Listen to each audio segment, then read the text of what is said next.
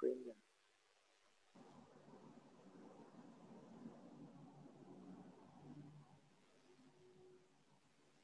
โอเค คือโดยที่สุดแล้วเนี่ย โดยภาพรวมของพวกนี้มันก็เป็นเรื่องของวรรณกรรมที่วนอยู่กับแนวความคิดเดิมๆก็คือ มันมาจาก colonial ใช่ไหม colonial discourse ถ้าพูดสั้นๆแบบนี้เราอาจจะ ดูว่าเราเข้าใจไหมถ้าเราไม่เข้าใจก็แสดงว่าเราจะต้องไป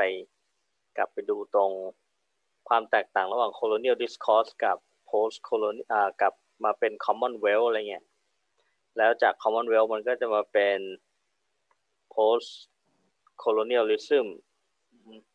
คำว่า colonial discourse เนี่ยมันชัดเจนก็คือมันเป็นวัฒกรรมที่สร้างให้กับประเทศที่ถูกปกครองอะเชื่อว่า เออเขาจะต้องเป็นประเทศคนที่ได้รับการปกครองหรือควรที่จะได้รับการช่วยเหลือจากประเทศของคนขาวจากกลุ่มคนขาวอะไรเงี้ยหรือ colonial discourse ก็จะบอกว่าประเทศของที่ถูกปกครองเนี่ยประเทศแอฟริกาประเทศในเซาท์อเมริกาหรือเอเชีย หรืออะไรแบบเนี้ยเป็นประเทศที่ล้าหลัง เป็นประเทศที่อยู่แบบไม่มีความเจริญอะไรเงี้ยการที่เราเข้าไปยึดครองเขาก็เหมือนกับการที่เราจะนำอารยธรรมไปให้เขาอะไรเงี้ยอันนี้คือ colonial discourse มันมีคำว่า colonial discourse เนาะโอเคเปิดดูตรงนี้ แต่ก่อนเนี่ยการประชุมกลุ่มในประเทศอังกฤษเนี่ยตอนแรกๆเนี่ยประชุมกลุ่มประเทศเนี่ยเขาเรียกว่าเป็นกลุ่ม colonial conference พอ colonial มาปั๊บมันก็มาเรียกเออให้ฟังดูแบบดีหน่อยแต่ไม่ต่างกันหรอก imperial reference ก็คล้ายๆกัน แล้วก็มาเป็น commonwealth commonwealth ก็คือเฮ้ยเรามารวมกันเป็นชาติที่อยู่ภายใต้อังกฤษนะ เป็นประเทศที่แบบมีความเขาเรียกอะไร commonwealth คือมั่งคั่งร่วมกันเหรอแต่ในความเป็นจริงมันไม่ได้มั่งคั่งร่วมกันอังกฤษยังเป็นหัวโจกอยู่ แล้วคนที่เป็นประเทศบริวารที่เพิ่ง เรียกว่ายังเป็นประเทศในปกครองหรือยัง อยู่ในการยึดครอง หรือบางประเทศที่เรียกว่าโดมิเนียนจะออกมาจากการปกครองแล้วก็จริง ก็ยังไม่มีความเท่าเทียมกันอะไรเงี้ยก่อนที่เราจะมาพูดถึงวัฒกรรมที่เป็น post colonial โอเคอันนี้ตามทันเนาะแล้วเราก็จะมีแบบคำต่างๆ เช่น settler community หรือ dominion อะไรแบบนี้เราจะได้คุ้นเคย ตรงนี้หน้าที่12 paragraph แรกเขาบอก shift from colonial to commonwealth อันนี้ อันเนี้ยเฟิร์นอาจจะต้องให้ความสำคัญตรงนี้นิดนึงว่ามันเปลี่ยนมาจาก colonial มาเป็น commonwealth literature มันหมายความว่ายังไง ก็หมายความว่ายังไงนะเฟิร์น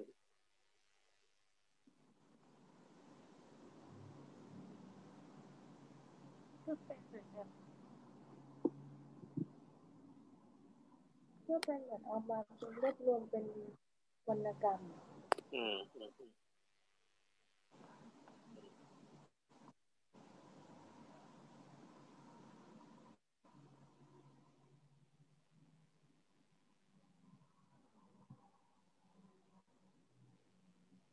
ไปลองดูตามตัวสิครับ ลองดูอธิบายตามตัวตัวนี้ครับ ที่เขียน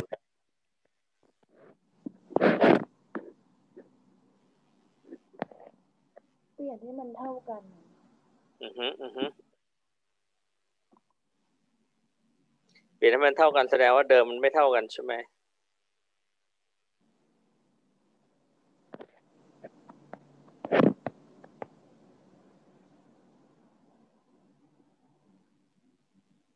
จากคำว่าอะไรมาเป็นคำว่าอะไรอะ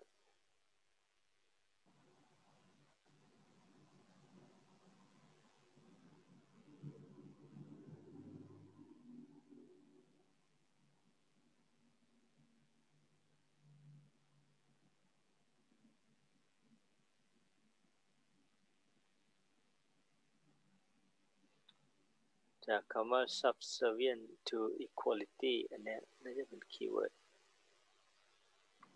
หรือไม่ก็มันจะฟังดูดีเป็น share valuable literary inheritance อันนี้ก็เป็น keyword เหมือนกันเนี่ยดูแบบมันเท่าเทียมกัน หรือ unity among diversity unity in diversity ความหลากหลายให้ความเป็นเอกภาพ ในท่ามกลางความหลากหลายเงี้ยฟังดูดี แต่เขาตั้งข้อสังเกตว่ามันไม่แน่นะอะไรเงี้ย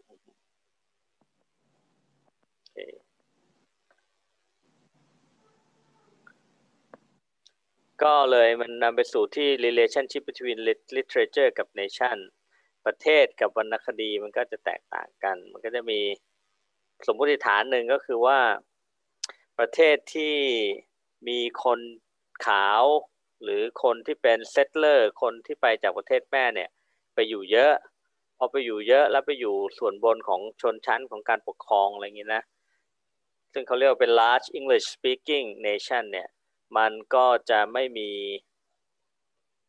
อ่าไม่มีวรรณคดีอะไรลักษณะแบบนี้ออกมามาก เช่นประเทศฟิจิฮ่องกง แล้วก็มัลตา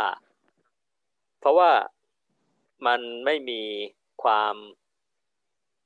เขาเรียกอะไรความทุกข์ยากของคนใช่ไหม ให้เห็นนะนะฮะมากก็เลยไม่มีงานอะไรแบบนี้ออกมาไอความทุกข์ยากความเจ็บปวดของคน ซึ่งมันจะเป็นกลายเป็น material กลายเป็นวัตวัตถุดิบในการผลิตงานวรรณกรรมที่ดีเนี่ย มันจะต้องมาจากความเจ็บปวด ความรวดร้าวของคนท้องถิ่นนั้นๆ โอเค ผ่านไปเร็วนิดนึงก็ผ่านไปเรื่อยๆ โอเค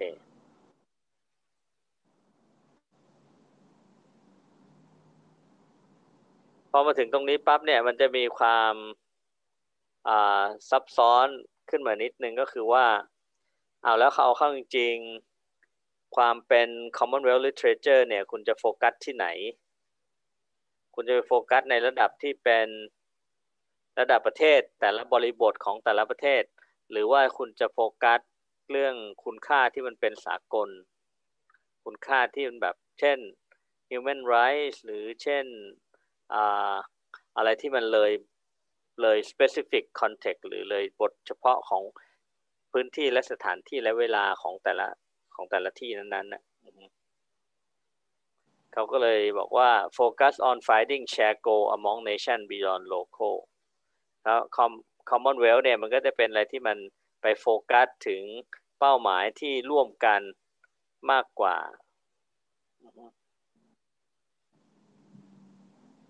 มากกว่าความเป็น local สอง suggest a diverse community with a shared problem มี community ที่แตกต่างกัน แต่ว่ามีปัญหาร่วมกันอะมันปัญหาคล้ายๆกัน ยอมรับแหละว่าแต่ละที่มันมี context มันมีบริบทต่างกัน India Australia Caribbean to reach across national border and deal with universal problem อินเดียหรือออสเตรเลียหรือแคริบเบียนอยู่คนละที่ใช่ไหมแต่ว่ามันจะต้องเลย เลยเพดานเลย across national border พรมแดนของของชาติ แล้วไปร่วมกันพูดถึงปัญหาที่เป็นร่วมกันจริงๆ พูดถึงปัญหาแบบใหญ่ๆอะไรเงี้ยเขาบอกว่า deal with national and cultural issue but the best writing possess the mysterious power to go beyond the border โอเค common literature เนี่ยมันก็ต้องจัดการหรือว่าต้องเกี่ยวข้องกับระดับ ประเด็นปัญหาระดับชาติ หรือระดับวัฒนธรรมแน่นอน แต่ว่า best writing งานเขียนที่มีคุณค่าเนี่ยมันจะต้องมันจะต้องมีพลังลึกลับที่จะเลยข้าม border ไป อันนี้เราแปลงมาเป็นคำง่ายๆนะ transcend them to transcend them transcend them to ก็จะเลยข้ามกำแพงทั่วไปกำแพงพรมแดนอะพรมแดนชาติ อันนี้คือ common literature ที่เขาต้องการให้มันเป็นนะ เพราะฉะนั้น common literature กับ colonial discourse มันต่างกันไหม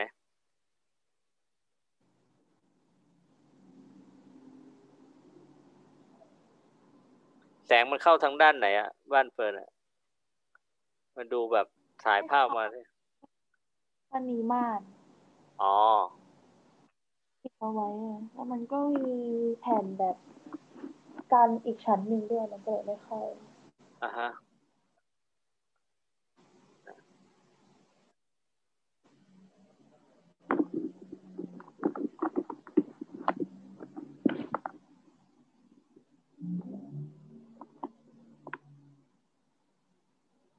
โอ้ยอันนี้ไม่ใช่อันนี้งานอื่นเดี๋ยวงง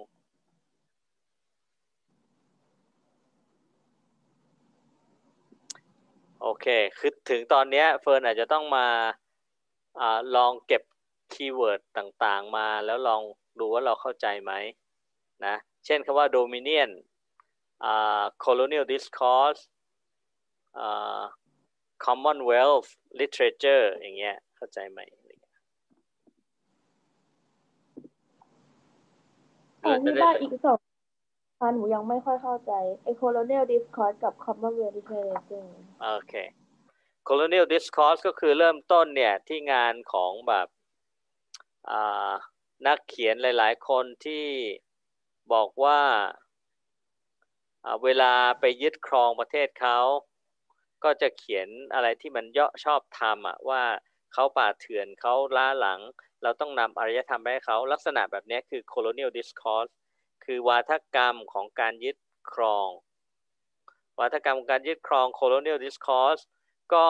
เพื่อสร้างความชอบธรรม ในการที่จะไปยึดครองหรือป้นปล้นทรัพยากรของประเทศอื่น ๆมา อันนี้คือ colonial discourse ใช่ไหมซึ่งสิ่งที่จะเช็คว่าเราเข้าใจไม่เข้าใจต้องถามว่า เวลาใครเข้าไปยึดอะไรหรือไปไปไปสร้างความชอบธรรมในการ ในในการมีพฤติกรรมนั้นๆของตัวเองเนี้ยเช่นการไปยึดครองเขาไปเข้าไปปล้นทรัพยากรเขาเงี้ยเราเห็นด้วยไหม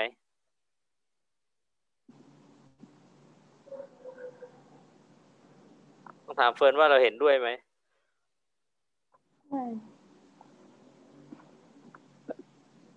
ถ้าเราไม่เห็นด้วยเนี่ย แสดงว่าเราเข้าใจ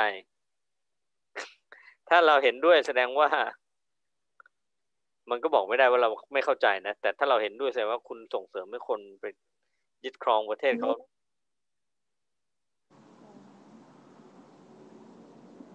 ใช่ไหม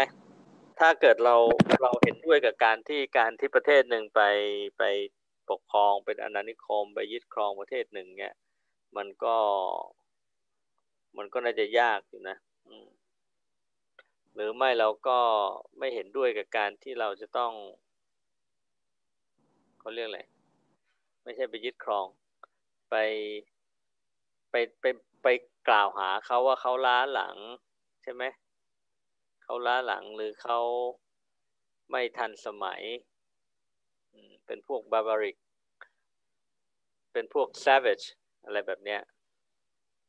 เออพวกล้าหลังพวกไม่ทันสมัย อย่างเงี้ยมันไม่ มันไม่ใช่นะ เราอยู่ในยุคนี้แล้วนี่เรา เราถ้าจะทำใจยากนะ ที่จะยอมรับความคิดความเชื่อแบบนี้อะไรเงี้ยไม่มีใครเขายอมรับได้เลยแต่มันน่าจะมีนะ คนที่มองคนไม่เท่ากันมีไหมมีก็คงมีเออ แต่ว่าแต่ว่าแต่ว่าเฟิร์นรู้สึกยังไงกับการที่คนมองคนไม่เท่ากันไม่ชอบน่ารำคาญ เออเออเออ แต่บางทีมันก็มีนะในประเทศเดียวกัน มันก็เห็นพวกแบบอะไรวะอะไรเงี้ยแบบทำไมแบบ คนมันไม่เท่ากัน ไม่เท่าเทียมกันอะไรแบบนี้มันก็มีความคิดแบบนี้อยู่ อันนี้คือ colonial discourse มีไหมที่บ้านมีพวกที่มีความเชื่อแบบ colonial discourse ไหมอาจจะมีนะแต่ว่าหนูถ้ามีก็ไม่ยุ่งดีกว่าถ้ามีก็ไม่ได้ยุ่งเขา เพราะเราไม่เชื่อเหมือนเขา ใช่ไหมคนไม่ชอบคนพวกนี้อยู่แล้วอืม เนี่ย พวก colonial discourse เนี่ย บางทีอ้างเฉยเลยว่าเฮ้ย เราต้องไปยึดเขาเพราะมันเป็น mission to civilization mission to civilization ค่ะเดี๋ยวนะเดี๋ยวนะหาที่เป็นภาษาฝรั่งเศสก็ เขียนว่าภาษาฝรั่งเศสจะได้ดูเท่ดี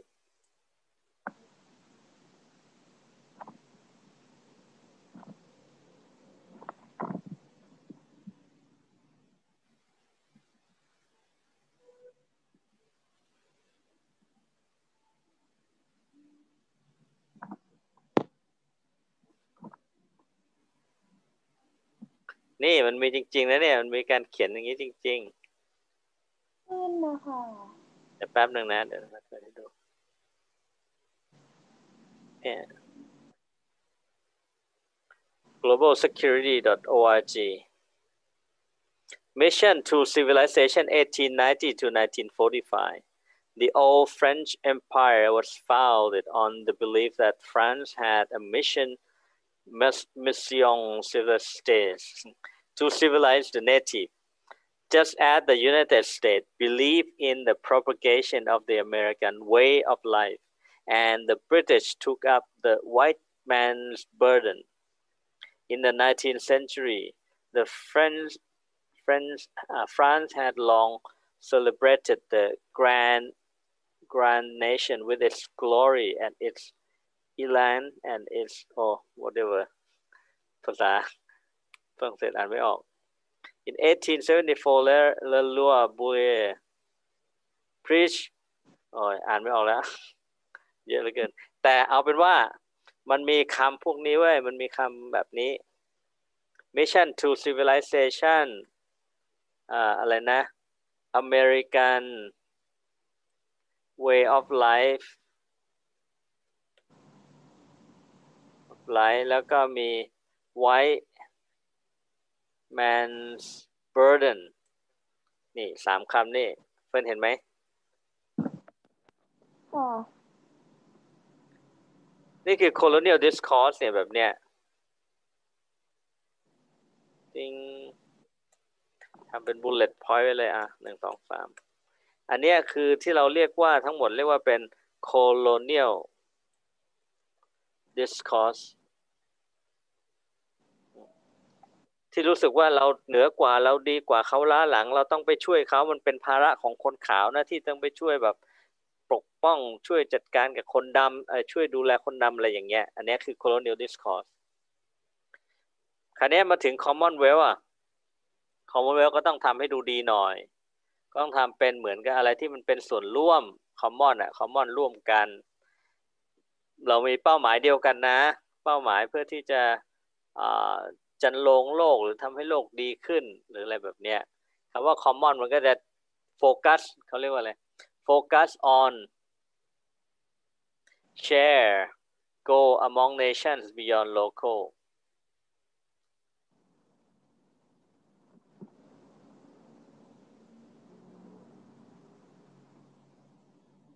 ก็คือพยายามจะคำว่าเขาพยายามจะให้เขาลืมเรื่องของ เรื่องของผลประโยชน์ของชาติหลักๆอะให้หันไปหาไอความนึกคิดหรือปัญหาที่มันเป็นสากลขึ้น แล้วก็ Commonwealth ก็คือไปที่หาการหา focus on finding share goal among nation beyond local เป็น literature แล้วเหรอคะ ใช่ ขออีกรอบนึงได้ไหมคะ หนูจดไม่ได้ ค่ะ Commonwealth literature ก็คือ มันจะให้ความสำคัญกับการหาเป้าเป้าหมายหรือว่าเป็นเป็นอ่าเป้าหมายร่วมกันของหลาย ๆ ชาติของระหว่างประเทศที่อยู่ในการปกครองของอังกฤษเนี่ยอะฮะมากกว่าการสนใจประเด็นที่เป็นท้องถิ่นแต่ละที่อะไรอย่างเงี้ยครับการหาประเด็นร่วมกันอะไรนะคะในหลาย ๆ ชาติเหรอใช่ใช่การหาประเด็นร่วมกัน เช่น เรื่องสิทธิมนุษยชนเรื่องอ่าอ่า สิ่งแวดล้อมหรืออะไรแบบเนี้ยมันอันเนี้ยมันเป็นปัญหาที่ร่วมกันของหลาย ๆ ประเทศของหลาย ๆ ชาติไง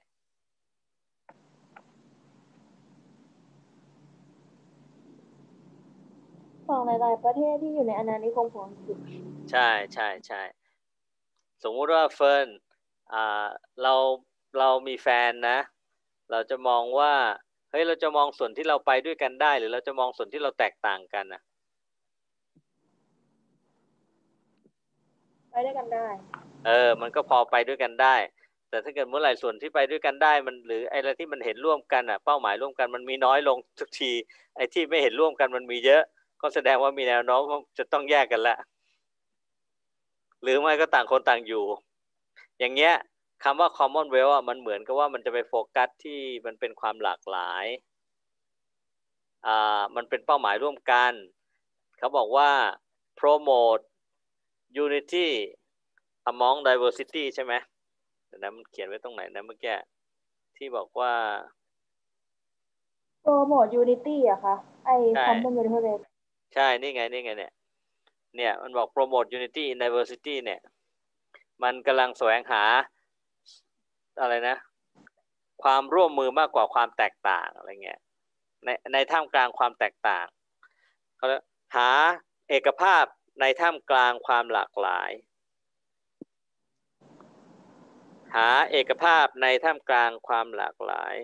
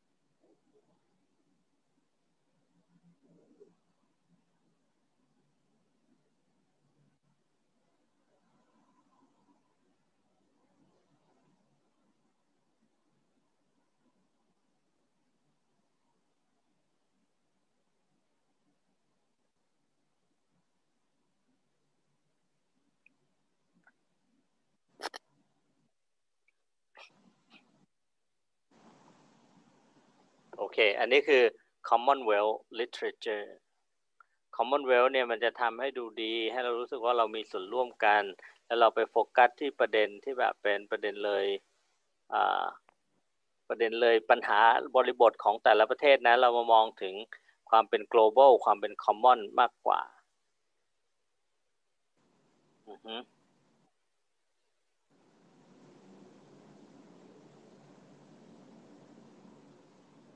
เนี่ยเขาบอกว่าอย่างอินเดียออสเตรเลียหรือแคริบเบียนเนี่ยมันจะมีความแตกต่างก็จริงแต่ว่ามันควรจะเลย reach across national border and deal with universal problem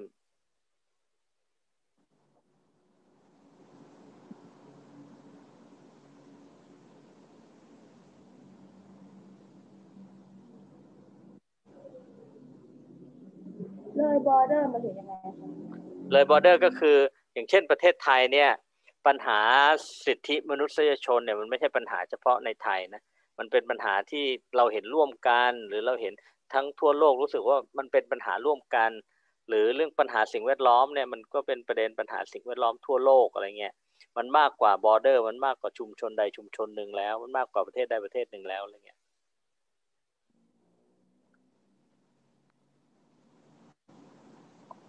ก็เหมือนเลยบอร์เดอร์ก็เหมือนให้แบบมาแบบ ดูแบบหาหาโกด้วยกันอย่างนี้ยใช่ใช่ใช่คือที่เขาบอกว่าให้ดูประเด็น global เนี่ยเพราะเขาไม่อยากจะให้ไปเน้นที่แต่ละประเทศ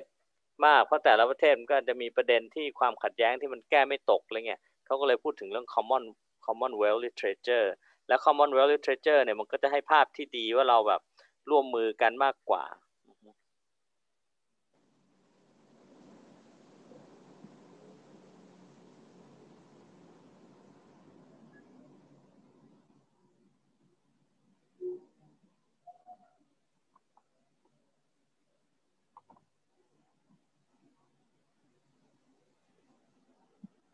โอเค ตอนนี้เราได้สองคำ colonial discourse กับคำว่า post อ่าคำว่า commonwealth literature แล้วจะขยับไปที่ post colonial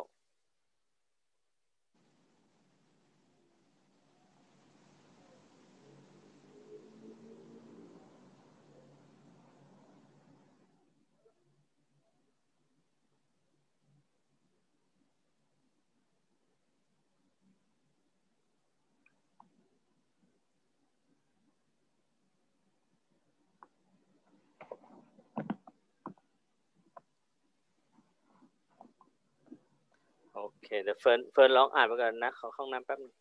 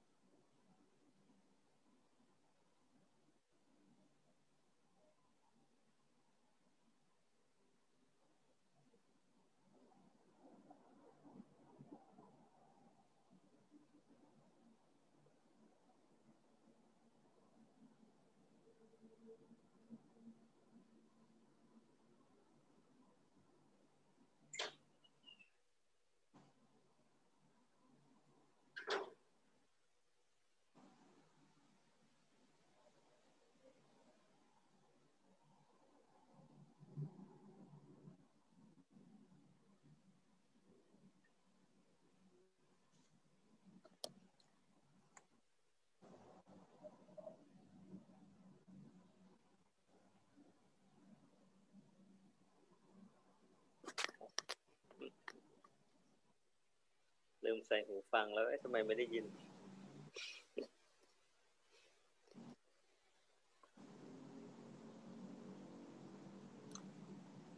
เดี๋ยวนะนะสังเกตว่าเฟิร์นหน้าตาดูไม่ค่อยยิ้ม เพราะว่ามันยากหรือเพราะว่ามันใช้ใช้ใช้สมาธิสูง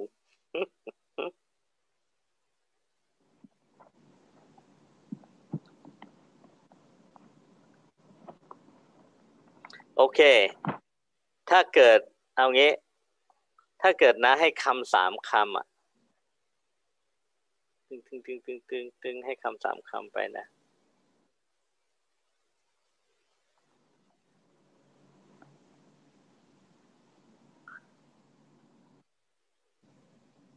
นี่นะเดี๋ยวนะแป๊บหนึง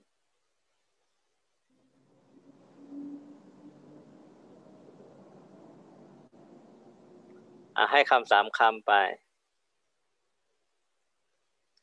colonial discourse แล้วก็ commonwealth literature แล้วก็ post colonialism โอเคเฟิร์นจะสามารถที่จะเขียนมาให้ น้าฟังได้ไหม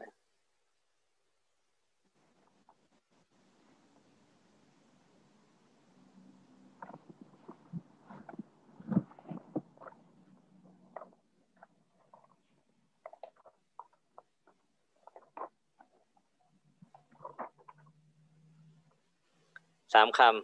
ำ สามคำ สามคำ สามคำ ติ้งติ้งติ้งติ้งสามคำ โหถ้าเฟิร์นเข้าใจนี้ก็ถือว่าเข้าใจหมดแหละ ชีวิตนี้ก็ไม่ต้องจมปักอยู่กับความทุกข์ละ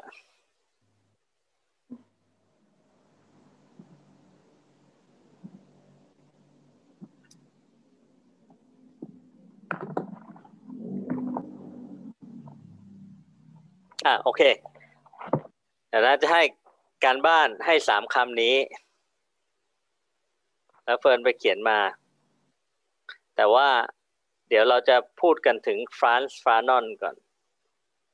อือฮึแป๊บนึงนะคะหนูขอหาที่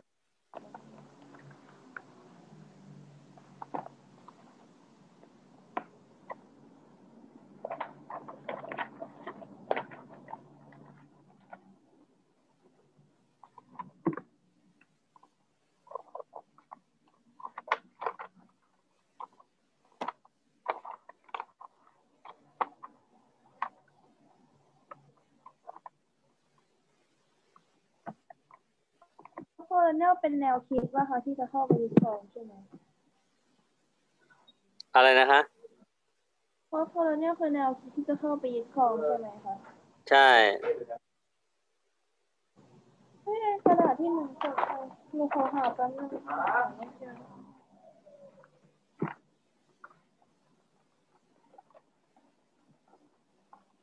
ไปไหนอะอะไรนะ อะไรนะอะไรก็ได้แล้วอะไรก็ได้นึกมาเอ่อเดี๋ยวเรื่องกระติมีเมนูให้แล้วเราเราจะกินแล้วพี่กินได้ประมาณสองร้านแหละก็เลิกเป็นงัวฉันขอหาเนี่ย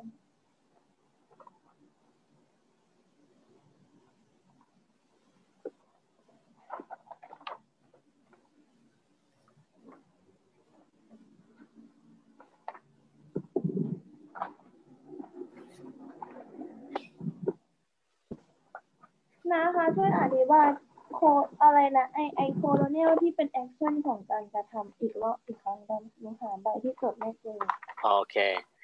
colonial เนี่ยนะ มันเป็น มันเป็นเขาเรียกว่า justification of the act of colo colonization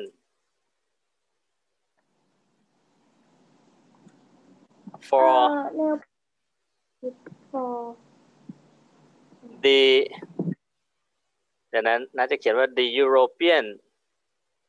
countries เอ่อเดี๋ยวนะ back back back back in 18th century 18 19th century the European country were uh, were going around the world to look Okay. for resources and and and slave mhm, to work in the plantation. Mhm. Okay, back in 18th, 19th century, the European countries were going around the world to look for resources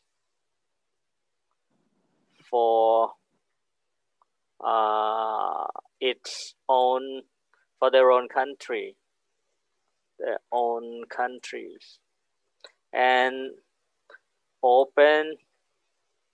and look to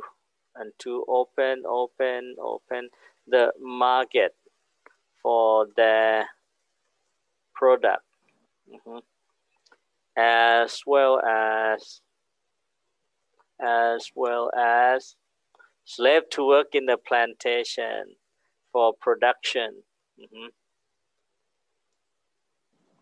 Okay, they the European countries then colonize colonize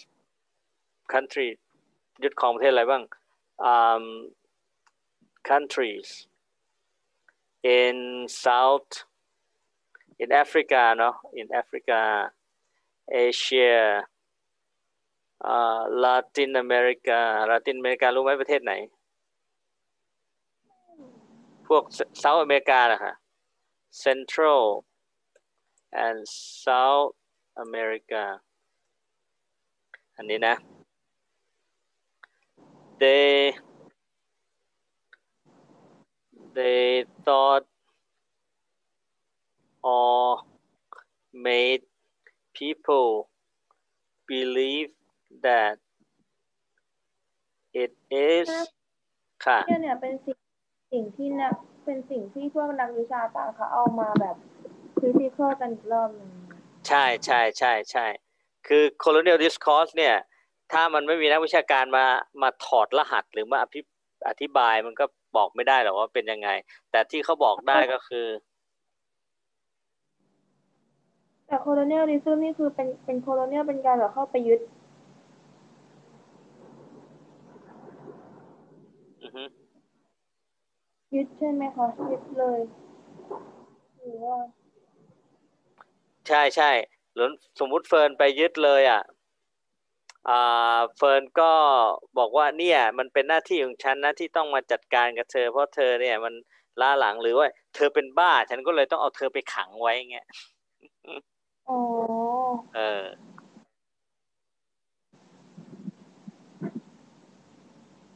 โอเคค่ะ ค่ะอือฮึ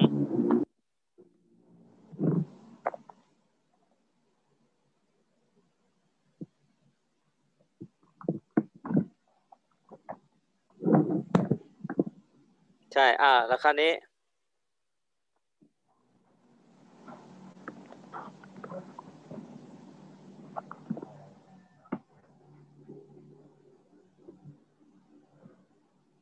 แล้วอันนี้ Commonwealth เนี่ย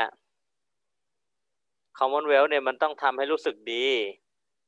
ใช่ไหม ก็ colonial colonial มันดูไม่ดีไง they thought or they made people believe that the colonized countries were were barbaric savage uh, underdeveloped yeah. The colonized countries were in need of support and and and and and were in need of support and and and and อะไรนะตรงนั้นก็ assist อือฮึ by the superior countries like uh, uh, France, Britain, German, Spain, etc. เขาบอกว่าเขาประเทศที่ถูกปกครองต้องได้รับการสนับสนุนช่วยเหลือจากประเทศเช่น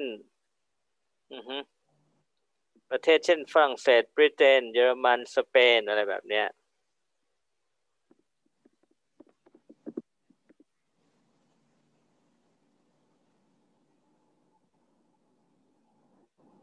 นึกภาพออกไหมว่า colonial discourse มันเป็นแบบนี้ colonial discourse use เดี๋ยวนะเนี่ย colonial discourse จากในบทความนั่นเหรอคะอะไรนะคะไม่อันนี้อะอันนี้นะเขียนมาประมวลจากความรู้และการเขียนการอ่านที่หลาย ๆ จากหลาย ๆ งานที่เรามาเอามาคุยกันอะเพื่อจะให้เฟิร์นเข้าใจว่าอ๋อมันเป็นแบบนี้อะไรเงี้ย colonial discourse เนี่ย were used to justify เพื่อสร้างความชอบธรรม for the European Western country to colonize others คือมันถูกสร้างขึ้นมาเพื่อจะสร้างความชอบธรรมให้ประเทศยุโรปหรือประเทศ Western country เนี่ย ไปปกครองประเทศอื่น อย่างถูกต้อง le- legit legit legitimately legitimately อ่า อย่างถูกต้องอะ โอเค นายยกตัวอย่างเช่น เดี๋ยวนะ the classic book like the เดี๋ยวนั้น โอเค นะเขารับโทรศัพท์แป๊บหนึ่ง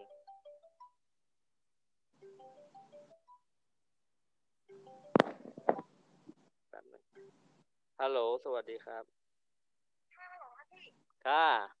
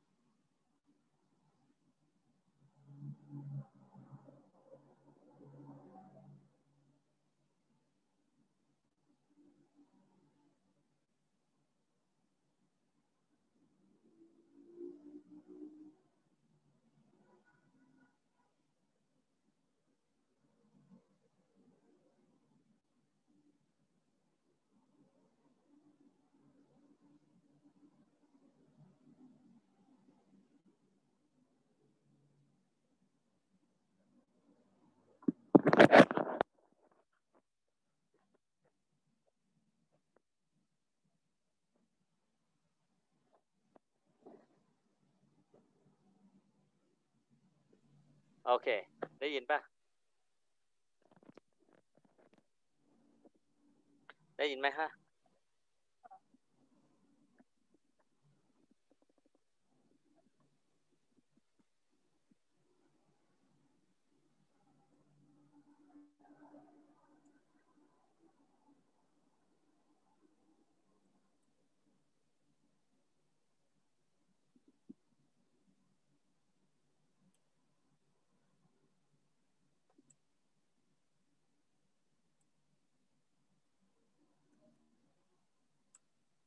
โอเคเดี๋ยวนะนะเขียนว่างานคลาสสิกของงานคลาสสิกที่ชื่อว่า The Heart of Darkness by by by ใครเป็นคนเขียนโจเซฟโจเซฟคอนราดใช่ไหม is the best example เป็นตัวอย่างที่ดีที่พูดถึงคนยุโรปประเทศยุโรปเนี่ยไปเหมือนกับ demonize อะไป กล่าวหาไปว่าร้ายให้กับประเทศที่ถูกปกครองยังไง เช่นเป็นน่ากลัว savage อะไรแบบนี้ค่ะ อันนี้คือ colonial discourse สอง commonwealth commonwealth เราก็เห็นแล้ว commonwealth literature uh, it is the term to for the British mhm, British to เขาเรียกอะไรอะอ่ามันเป็นเทอมที่คนอังกฤษใช้อะ to to communicate แล้วกันอะ to communicate อ่า um, to to refer to refer to the literally อือฮึอ้าวพอจะมาถึงนี่เขียนไม่ออก it is the lit เอางี้กัน literally term for uh, for the Britain and its colonial periphery mhm, peripheral country โอเค อันนี้เป็นเทอมที่ใช้สำหรับอังกฤษแล้วก็ประเทศที่อยู่ในปกครองอังกฤษนะ to discuss to discuss about their global share inheritance คือประเด็นที่ทำให้แบบคนพูดถึงมรดกร่วมกันอะไรเงี้ย share the share uh, inheritance the the term focus on the unity in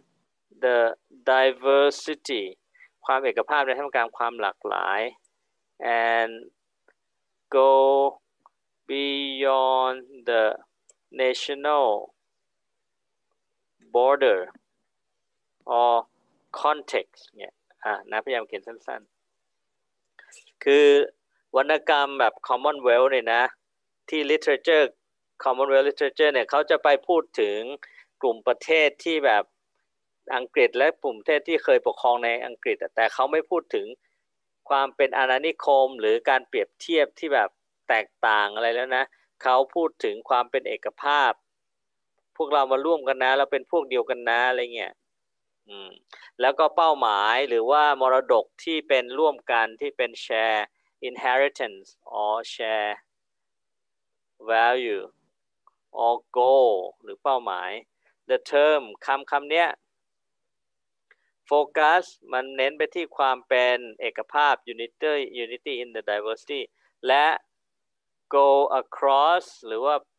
go across uh, the national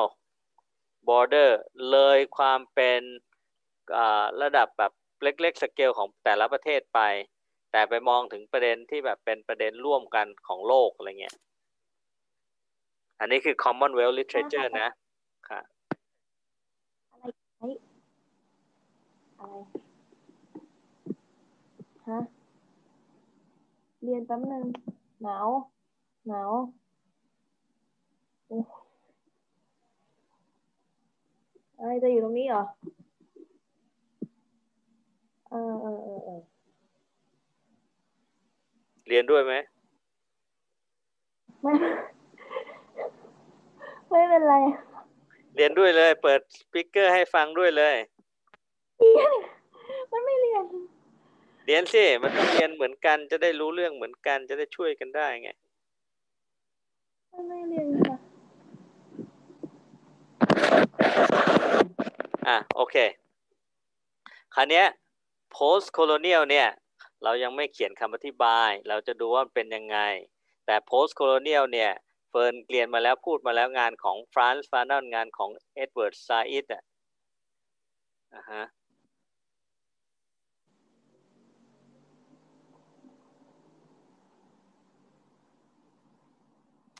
โอเค ก็ลองกลับไปดูนิดนึง เดี๋ยวเราจะกลับขึ้นไปดูข้างบนที่เราเขียนไว้นิดนึง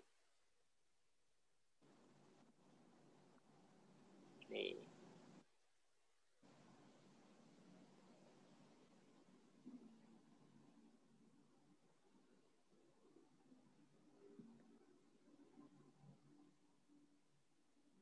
เยอะเหลือเกิน โอเค เอาแค่นี้ เอาที่เชอรี่จูสรุปไว้น่าสนใจมากคนนี้นะเชอรี่จูเชอรี่จูสรุปไว้ว่า a paradox sit at the heart of Commonwealth literature paradox คืออะไรครับ paradox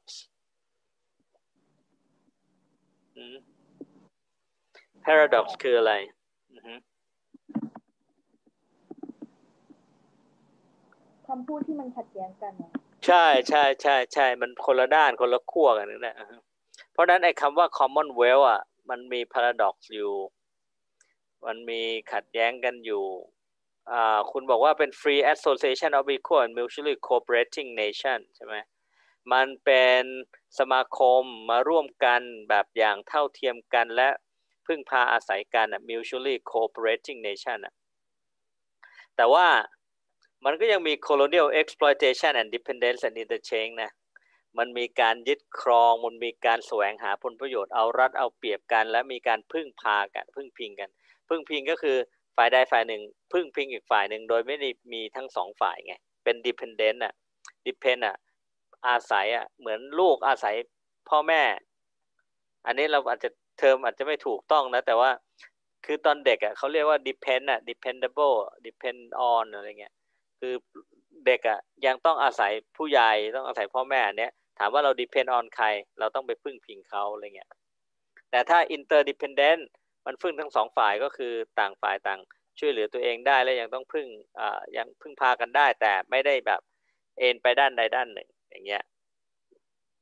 เพราะนั้น paradox มีสองด้านด้านหนึ่งมองว่าเป็นเท่ากันใช่ไหมด้านหนึ่งมองว่าเท่าเทียมช่วยเหลือการร่วมมือกัน แต่ อีกด้านหนึ่งไม่ได้สิให้มันแอบเอารัดเอาเปรียบมันเอาผลประโยชน์กัน แล้วก็อีกให้อีกฝ่ายหนึ่งต้องไปพึ่งพิงอะไรเงี้ยอันนี้เป็น paradox เขาบอกว่าอ่าดูนะดู A B อันนี้น่าสนใจ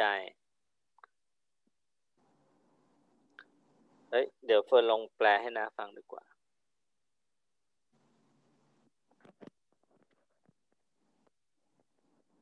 Commonwealth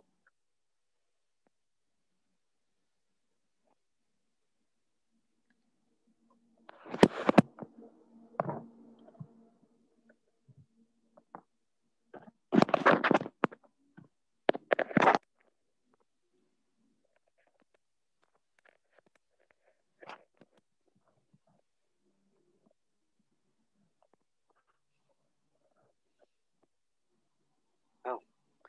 phát điều cần đấy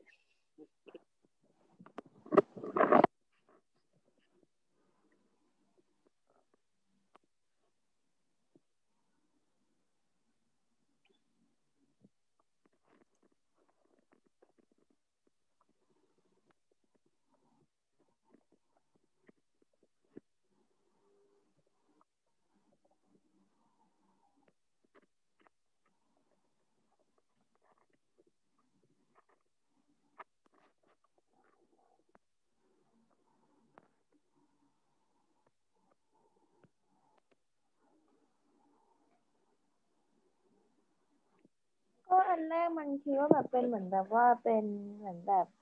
เป็นเขาเรียกว่าอะไรความใจดีเหรอคะความแบบเขาเรียกว่าอะไรนะอือฮึแบบมีเมตตาต่อกันอะไรอย่างเงี้ยใช่ใช่ใช่แบบเห็นเห็นใจกันและกันค่ะอือฮึอีกด้านหนึ่งก็จะเป็น dark side ที่แบบเห็นแก่ตัวแล้วก็ ใช่อือฮึโอเค เฟิร์นเข้าใจถูกแล้ว แต่เฟิร์นบอกว่า อันไหนมันเป็นคำที่ใช้คำว่าเรียกว่า commonwealth อันไหนที่เป็น post colonial อะ ค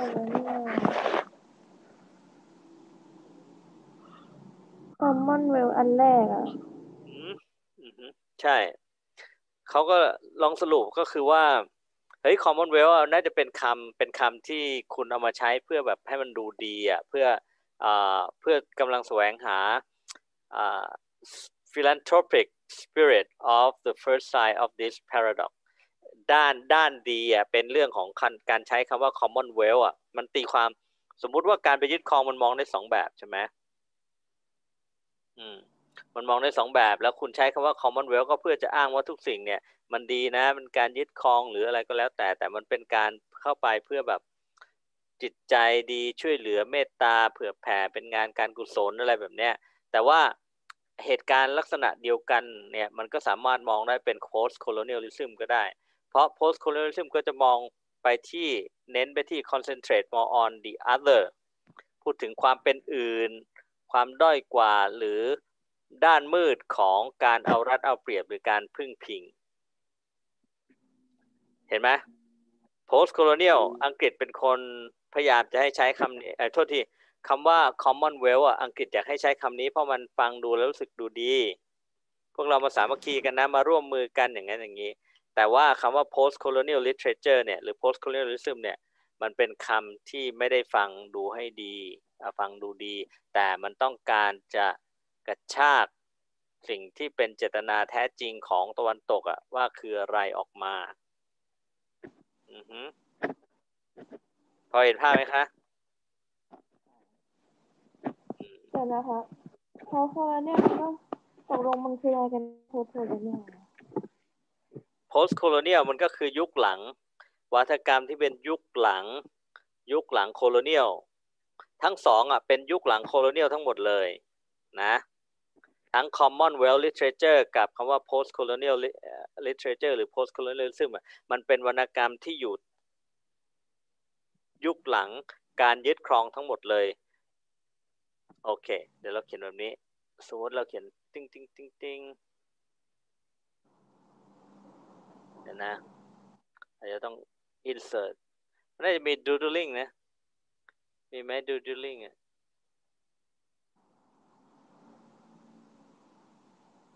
อ่าสมมุติติงติง colonial เป็นแบบนี้ colonial discourse พอมาถึงนี้ปั๊บ มันแตกออกไปเป็น commonwealth literature และมาเป็น post colonial ism ทั้งสองคำนี้มันเกิดหลัง ไอ้นี่ทั้งหมดเลย มันเกิดหลัง dis ตัวนี้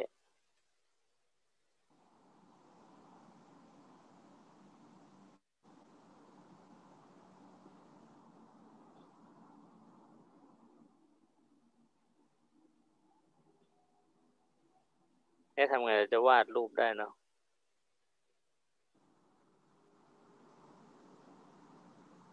โอเค anyway colonial มันเกิดมาก่อนทั้งหมดเลย แล้วก็ commonwealth เนี่ย มันเป็นอันนี้เป็น good side ใช่ที่เขียนว่า philanthropic ใช่ไหม อันนี้เป็น dark side เป็น exploitation อะไรแบบเนี้ย ของประเทศอื่น exploitation หรือไม่ก็เป็น เราเรียกว่าอะไรนะ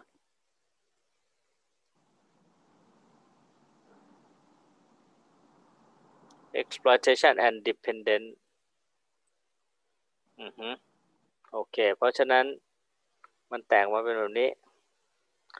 colonial ก็คือช่วงที่ยึดครองแล้วก็มีวัฒกรรมละครหรือหนังอะไรก็ได้ ที่ไปกล่าวหา demonize หรือที่ไปทำให้ลดคุณค่าความเป็นมนุษย์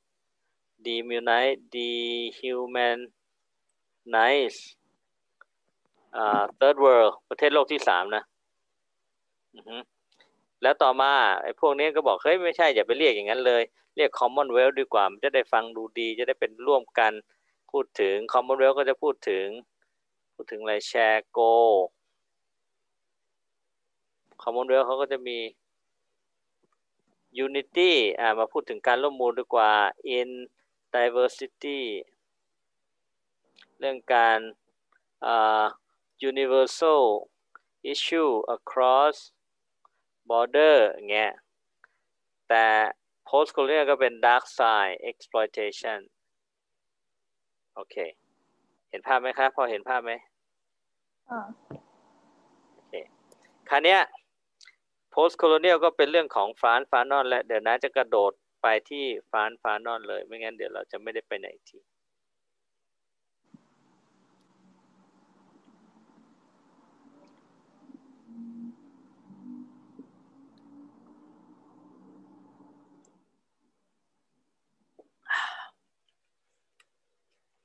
โอเค เราดูหน้าสิบเจ็ดนะคะ ดูหน้าสิบเจ็ดแล้วเราไปพร้อมกัน เราจะทำน่าจะทำแค่สองพารากราฟนี้ แล้วก็เราจะทำเป็น outline โอเค Theories of Colonial Discourse Franz Fanon and Edward Said ที่เขาพูดแบบเนี้ยไม่ใช่เขาจะพูดถึง colonial discourse นะ แต่เขาจะวิพากษ์วิจารณ์ colonial discourse แล้วมันก็จะมีความเป็น post colonial ไปเลยเออเริ่มต้นก่อนว่าพารากราฟแรกเอาตั้งแต่ theory อันนี้ก่อน theory of เฟิร์นทำไปพร้อมกันก็ได้นะ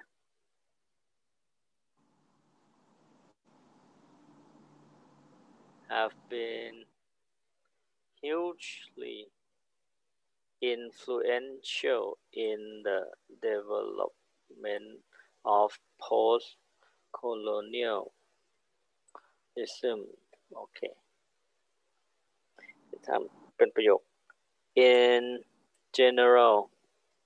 they explore the ways that representations and modes of perception are used as fundamental fundamental weapons of colonial power to keep colonized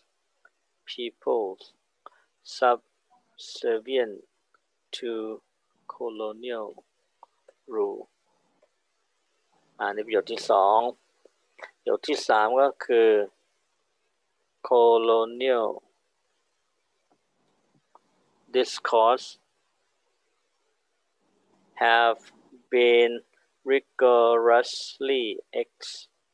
explored in recent years by critics working with developments in critical theory theory and บลาบลาอันนี้ไม่สำคัญแล้ว โอเค อ่าเราทำแค่นี้มีสี่ประโยคนะ ในพารากราฟนี้มันพูดถึงแล้วประโยคแรกบอกว่า theory of colonial discourse เนี่ย have been hugely influential in the development of post colonialism เฟิร์นเข้าใจว่าไงคะ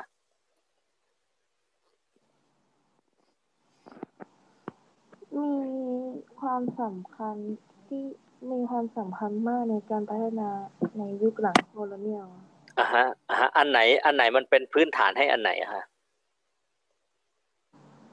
colonial discourse เป็นพื้นฐานให้ dis- post colonialใช่ ใช่ เพราะว่าอะไรรู้ไหม เพราะว่าเขาก็จะเอาไอ้ไอ้งาน colonial นั่นแหละ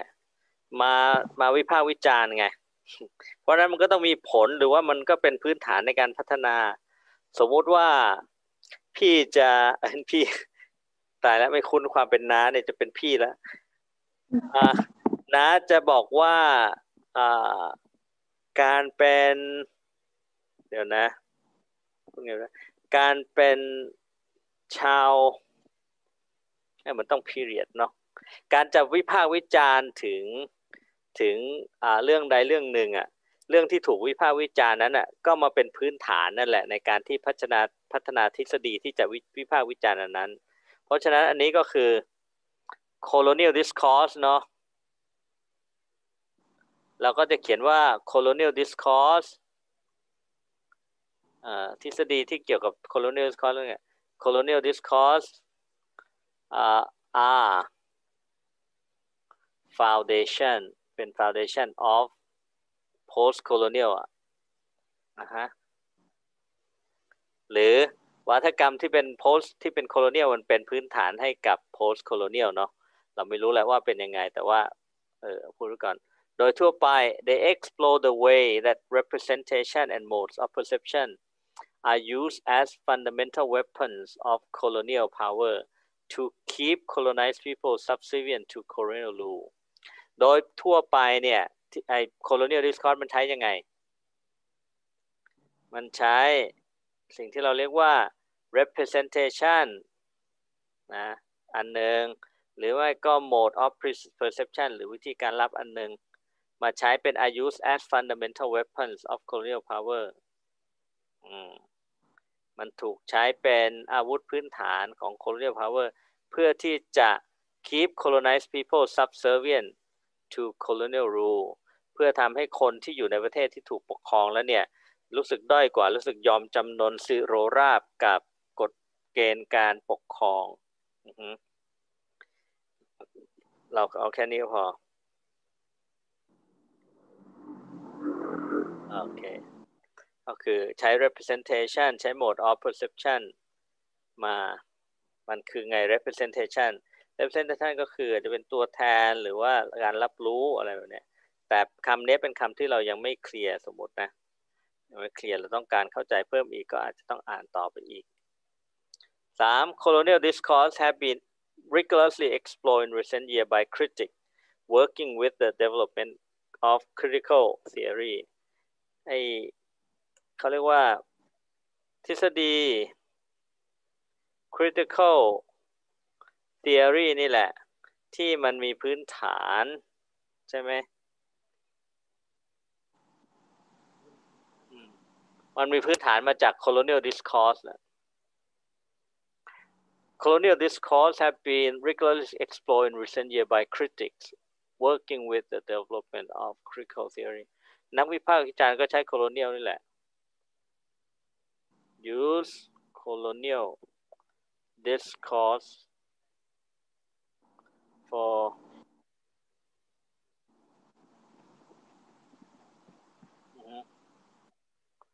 okay for their work อ่าฮะใช้ในงานของเขา อันนี้ก็จบไป อันนี้พารากราฟแรกเป็นแบบนี้นะ มันได้มาสามอย่างอือฮึพารากราฟที่สองอะเราทำลักษณะแบบนี้ได้ไหมครับเฟิร์น อันนี้พารากราฟแรกนะอ่าพารากราฟที่สองพารากราฟที่สองก็คือ A A ก็ไม่ต้อง A good introduction ข้อเหรอ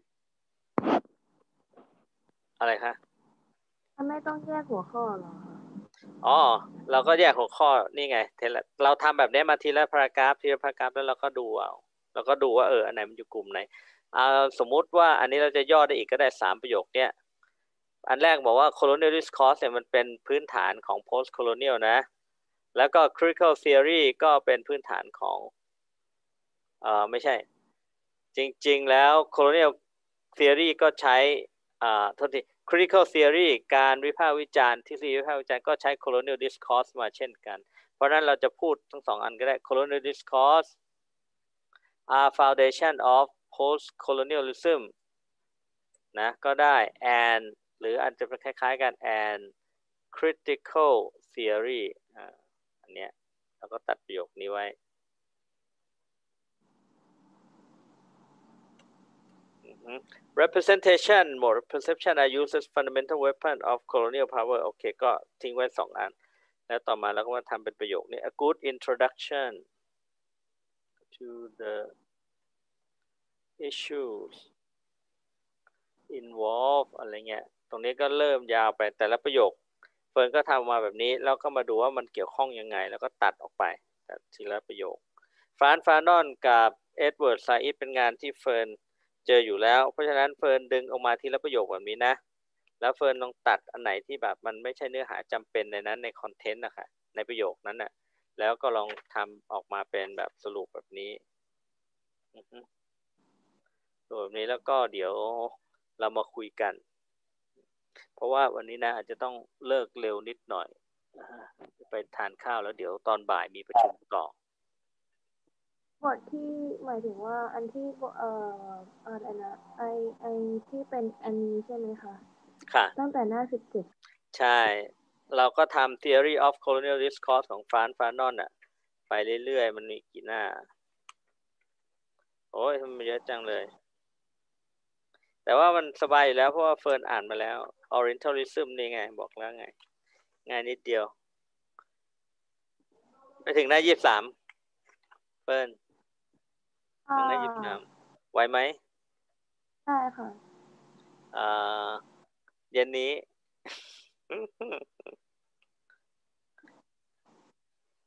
เย็นนี้เฟิร์นอาจจะต้องอาจจะมีคำถาม เพราะฉะนั้นเฟิร์นสรุปประโยคไหนที่เฟิร์นไม่เข้าใจเฟิร์นถามเย็นนี้ แล้วอาจจะไม่ได้นั่งเรียนกันแต่ว่าเฟิร์นส่งคำถามมาทาง Facebook ได้เรื่อยๆน้าจะเปิดแล้วน้าจะตอบไปมันจะได้ช่วยเฟิร์นเร็วขึ้นเนาะแล้วก็ค่ะ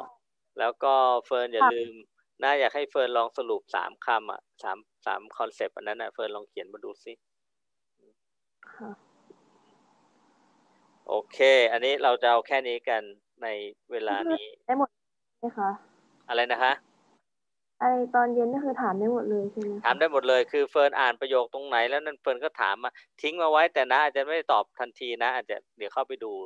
เข้าไปดูแล้วก็ดูว่าเออประโยคไหนมันเป็นยังไงเดี๋ยวเดี๋ยวต่อไป เฟิร์นจะได้เอาไปใช้ในการสรุปไงอือฮึได้ค่ะก็ทำเป็นถ้าทำเป็นกลุ่มประโยค กลุ่มประโยคพารากราฟหนึ่งก็ทำเป็นกลุ่มประโยคหนึ่งแล้วก็ตัดให้มันสั้นลงอะเอ๊ะประโยคนี้มันหมายความว่าไงนะ เราตัดได้ไหมหรือบางทีพวกอาร์ติเคิลพวกอะไรเงี้ยมันก็อาจจะเป็นเปลี่ยนเป็นเครื่องหมายบ้างก็ได้ มันจะได้ดูง่ายขึ้นอะไรเงี้ยค่ะอ่าฮะอืมโอเค แล้วสภาพร่างกายและจิตใจเป็นยังไงบ้างก็โอเคค่ะ โอเคเอ่อรู้สึกว่าเรากำลังทำในสิ่งที่มันยากเกินไปในชีวิตไหมมันก็ยากอยู่นะคราวเนี้ยน้าฟัง ที่อีลอนมัสเขาพูดอะรู้จักอีลอนมัสไหมได้คุณชื่ออีลอนมัสคือคนที่คิด SpaceX อะคือคนที่ทำเรื่องอาจรวดที่จะไปดาวอังคารอะเขาบอกว่าถ้าเกิดในโลกนี้แล้วเขาไปตายดาวอังคารถ้าจะดีมากอย่างนี้เขาก็คิดทำไมอะแล้วเขาก็พยายามที่จะสร้างอะไรที่มันที่มันแบบคือเป็นบริษัทเอกชนบริษัทแรกที่จะส่งยานอวกาศไป ไปโคจรรอบโลกอะไรเงี้ยแล้วเขาทำสามครั้งสองสามครั้งแรกอะเขาทำแล้วมันก็ระเบิดไงล้มเหลวไงไม่ประสบความสำเร็จเงี้ยแต่ว่าพอทำครั้งที่สามมันประสบความสำเร็จเขาก็เลยแบบรู้สึกแบบเยี่ยมมากอะไรเงี้ยอีลอนมัสเขาบอกว่ามันคงจะน่าเบื่อถ้าเกิดเราตื่นขึ้นมาแล้วเราต้องทำอะไรเดิมๆหรือทำอะไรที่ง่าย ๆ หรือทำอะไรที่ไม่ท้าทาย เขาบอกเขาอยากตื่นขึ้นมาแล้วก็พร้อมด้วยมิชชั่นว่าเขาจะไปดาวอังคารได้ยังไง ใครจะมองว่าเป็นไปไม่ได้ แต่เขาคิดว่า เออ เราค้นพบดวงจันทร์เราไปดวงจันทร์ตั้งแต่หนึ่งเก้าหกเก้าแล้วทำไมตอนนี้เราไม่ เราไม่คิดการมองถึงไปดาวอังคารหรืออะไรแบบเนี้ย อืมอืมเพราะฉะนั้นเราก็ตื่นขึ้นมาด้วยแรงใฝ่รู้และแรงบันดาลใจที่มากขึ้นทุกวันทุกวัน เดี๋ยวจบ เทอมนี้ เฟิร์นก็จะเป็นบัณฑิตแล้ว ยังค่ะอะยังเหรอเพราะอะไรอะได้ได้เป็นจบเทอมนี้ก็เดี๋ยวหนูเหลืออีกเทอมหนึ่งค่ะอ่าเหรออันนี้เป็นเทอมหนึ่งเหรอค่ะ อันนี้เป็นเทอมสองค่ะแต่ว่าของหนูเหลืออีกเทอมหนึ่งอ๋อแต่เฟิร์นต้องไปเพิ่มอีกเทอมหนึ่งเดี๋ยวกว่าเก็บจะต้องมีเก็บหน่วยกิตเหลือเก็บอีกอ๋อค่ะโอเคเหลือโอเคเก็บได้ โอเค งั้นก็สู้ ขอบคุณค่ะๆค่ะ โอเคงั้นเอาแค่นี้ค่ะสวัสดีค่ะน้าส่งอันนี้ให้ด้วยได้ไหมคะอะไรนะคะกับเล็กเรคคอร์ดด้วยได้เดี๋ยวส่งไปไมโครโฟนกับเรคคอร์ดอะค่ะ ค่ะ โอเคค่ะ ขอบคุณค่ะ